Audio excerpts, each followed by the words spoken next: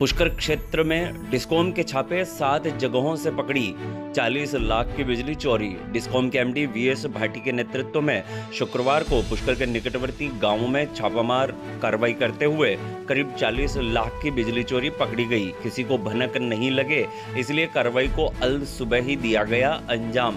सुबह साढ़े चार बजे से लेकर साढ़े सात बजे तक तीन घंटे चलती रही कार्रवाई। कार्रवाई के बारे में जानकारी देते हुए डिस्कॉम एमडी वीएस भाटी ने बताया कि शुक्रवार को कड़ेल, कानस और देवनगर में बिजली चोरी के सात मामले पकड़े गए। इनमें से एक जगह ऐसी थी जहाँ खेत के कुएँ पर दूसरी बार बिजली चोरी का मामला पकड़ा गया। भाटी ने कहा कि ऐसे उपभोक्ताओं के खिलाफ कोई रियायत नहीं बरती जाएगी और कड़ी से कड़ी कार्रवाई अमल में लाई जाएगी।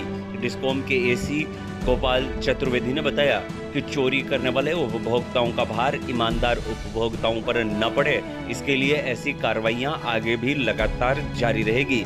सुरक्षा की दृष्टि से डिस्कॉम के अतिरिक्त पुलिस अधीक्षक राजेंद्र सिंह निर्माण के नेतृत्व में जाप्ता रहा तैनात। पुष्कर डिस्कॉम के सहायक अभियंता मोहन सिंह जादौन ने बताया कि चोरी के मामलों में पकड़े गए उपभोक्ताओं को सात दिन का दिया जाएगा नोटिस। अगर कंपाउंड राशि जमा नहीं करवाई जाती है तो दर्ज करवाया जाएगा मुकदमा और होंगी गिरफ्तारियाँ। कार्यवाही के दौरान डिस्कॉम के कनिष्ठ अभियंता पुनित शर्मा, धर्मवीर डाबरिया भी रहे मौजूद। लगभग अभी टोटल मिला के 40 लाख रुपए के आसपास की बिजली की चोरी हमने तीन घंटे में अभी पकड़ी है। और इन्हीं सब उपभोक्ताओं को हम नोटिस देंगे। जो उपभोक्ता उसका जो कंपाउंडिंग अमाउंट है वो जमा करा देगा उसको हम चालू कर देंगे। और जो उपभोक्ता जमा नहीं कराएगा उनकी सात दिन के नोटिस देने के बाद उनके खिलाफ एफआईआर दर्ज होगी और उनकी गिरफ्तारी होगी। कितने कितने समय से चोरी की जा रही थी? क्या है अब देखो ये एग्जैक्टली पता तो बताना मुश्किल है पर निश्चित रूप से अगर हम ये लोग देखेंगे तो घर बने हुए हैं तो वो घर में जब से कर रहा होगा जब घर बनाया होगा कोई अगर एग्रीकल्चर का कुआ है, ऐसा एक एग्रीकल्चर का कुआ हमने पकड़ा था जो पहले भी चोरी करता हुआ था।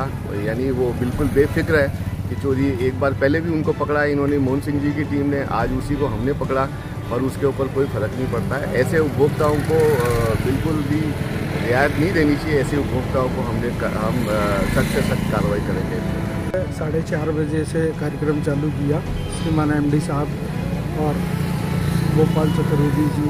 और सारी टीम थी। अवैध रूप से विद्युत का उपयोग कर रहे उन लोगों के खिलाफ कार्रवाई करने के लिए, ताकि जनता में अच्छा मैसेज जाए और विद्युत चोरी पे प्रभावी अंकुश लगाए। ये लगातार अभियान चला रखा है, जिससे प्रभावी कार्रवाई की जा सके। साढ़े चार बजे से श्रीमान एम साहब डीवाईएसपी साहब के साथ में जाकर के सात चोरियाँ पकड़ी है। और हमारा प्रयास यही रहेगा आगे भी कि जो ईमानदार उपभोक्ता हैं, उनको और बेहतर सेवाएँ दें। और जो चोर, चोरी कर रहे हैं, उनका बाहर जो है ईमानदारों पर नहीं पड़े और अच्छी सेवाएँ दें और चोरी पकड़ने का प्रयास आगे भी बराबर जारी रहेगा।